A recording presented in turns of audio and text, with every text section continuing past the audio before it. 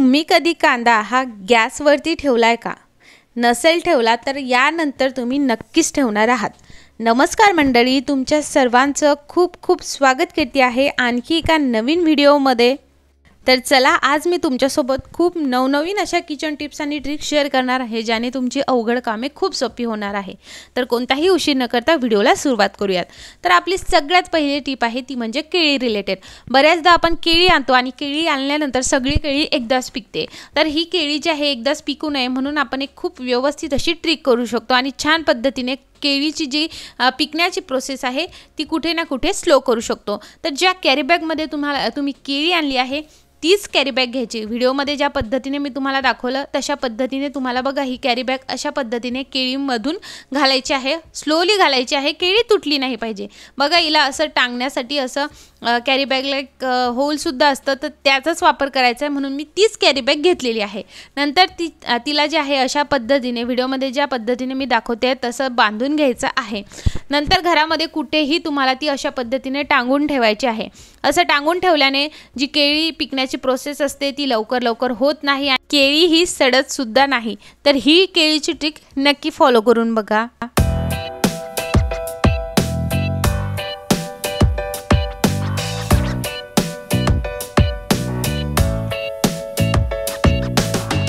नंतरची ट्रिक आहे ती म्हणजे तांबं पितळ क्लीन करणं रिलेटेड तर अगदी तांबं पितळ तुमचं जास्त खराब नसेल झालं आणि त्यावरती अगदी असे खूप स्ट्रॉंग डाग नसेल झाले तर त्यासाठी तुम्ही एक घरगुती आणि खूप सोपा उपाय करू शकता. तुम्हाला काय करायचं आहे? टमाटर घ्यायचं आहे. जास्त पिकलेलं टमाटर असेल तर खूप बेटर रिझल्ट मिळेल. त्यावरती तुम्हाला मीठ टाकायचं आहे आणि मीठ जे आहे ते तांबं पितळवर चोळून घ्यायचं आहे. एक गोष्ट लक्षात घ्या एकदम जास्त डाग असतील आणि जास्त खराब झालेलं असेल तर ते तांबं पितळ बघावं तसं क्लीन निघणार नाही. जर खूप खराब झालेलं असेल तर तुम्ही टमाटर ऐवजी लिंबाचा वापर करा. पण अगदी मा माझ्या एवढं जर जास्त खराब नसेल झालं तर अगदी हे चकचकीत निघतं. तर नक्की ही जी ट्रिक आहे ही फॉलो करून बघू शकता आणि नंतर ते घासणीने घासून घ्यायचं आहे. आता मी इकडे धुवून घेतलेलं आहे आणि लगेच कोरड्या कपड्याने पुसून घ्यायचं जेणेकरून यावरती पाण्याचे डाग होत नाही. तर अगदी सोप्या पद्धतीने तुम्ही तांबं पितळ हे क्लीन करू शकता. त्यामुळे तुम्ही आजच जे आहे हे नक्की फॉलो करून बघा. पण ज्या ट्रिक मी तुम्हाला सांगितली आहे की टमाटर हे जास्त पिकलेलं घ्यावं तर ते नक्की फॉलो करा. तर तुम्ही बघू शकता जे काही तांब्या आहे आणि प्लेट आहे ती अगदी स्वच्छ अशी निघालेली आहे. आय होप ही ट्रिक तुम्ही नक्की फॉलो करून बघाल.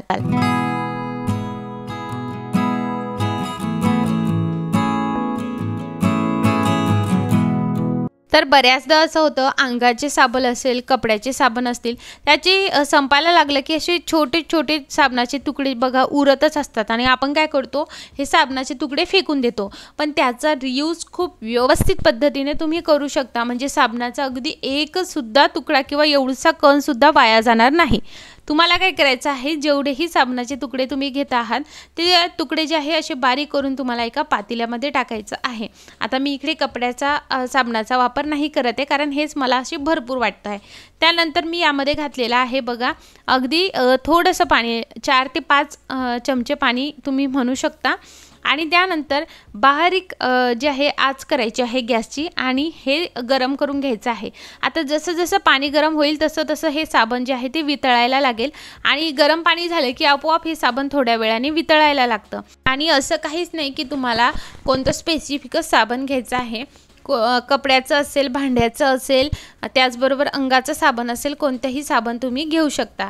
आणि हे गरम गरम लिक्विड झाल्यानंतर तुम्ही जे आहे भांडे घासण्यासाठी याचा वापर करू शकता.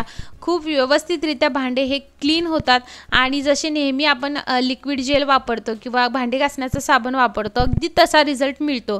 त्यामुळे कधीही साबणाचे तुकडे फेकण्या अगोदर त्याचा वापर असा नक्की करून बघा.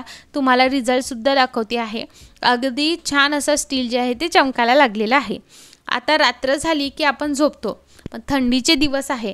त्यामुळे काय होतं की बेडवर आपण झोपलो की बेड भरपूर थंडा होतो आणि मग आपल्याला खालून थंडी वाजायला लागते. आणि ऑलरेडी आपण काम करून जे आहे ते दमलेलं असतो आणि शांत असं झोपावं वाटतं.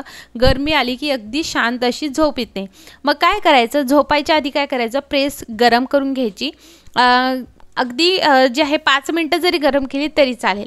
जिथे तुम्ही झोपता आहात तिथे बेडवरती तुम्हाला ही प्रेस एकदा जी आहे ते फिरवून घ्यायची आहे. अगदी जे काही बेड आहे ना तो गरम होतो आणि ही ट्रिक तुम्ही जी आहे नेहमी फॉलो करू शकता. अगदी खूपच थंड झालेलं असेल बेडशीट कारण थंडी जास्त असली की बेडशीट हेच थंड जे आहे ते होतातच. आणि थंड झाल्या कारणाने आपण वरून कितीही ब्लँकेट घेतले ना तरीसुद्धा जी गरमी असते ना ती लवकर येत नाही. त्यामुळे तुम्ही ही ट्रिक फॉलो करू शकता. आणि नंतर हे केल्यानंतर लगेच तुम्ही झोपू शकता. अगदी मस्त अशी गाढ झोप लागते. नक्की ही ट्रिक फॉलो करून बघा. मला तर याचा खूप छान रिझल्ट आला.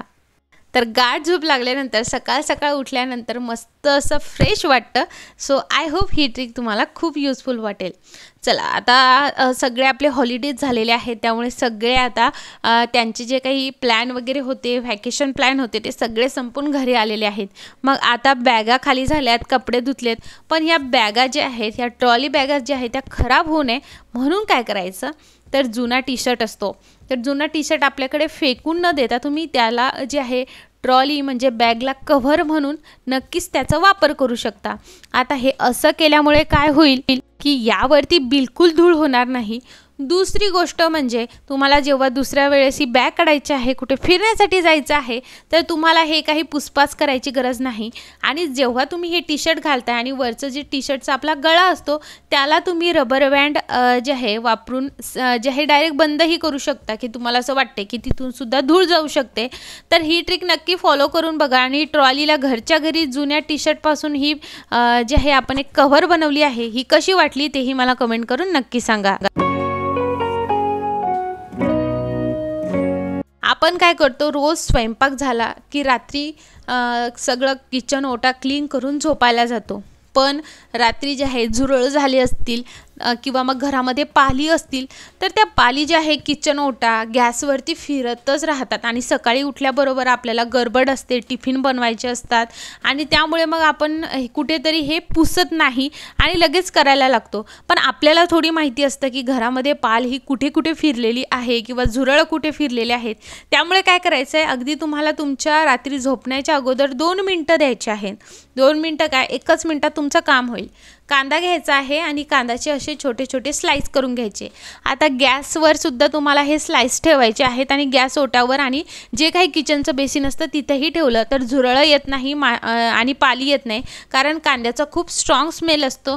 त्या कारणाने पाली तर त्याच्या जवळसुद्धा येत नाही. त्यामुळे तुम्हाला सकाळी उठल्यानंतर अगदी हे पुसून वगैरे घ्यायची काहीच गरज नाही. तुम्हाला अगदी तुमच्या कामाला तुम्ही सकाळी जे आहे उठून लागू शकता. आणि असे एकाच कांद्याचे असे छोटे छोटे जे आहे तुम्ही स्लायसेस केले ना तरी पण चालून जातात.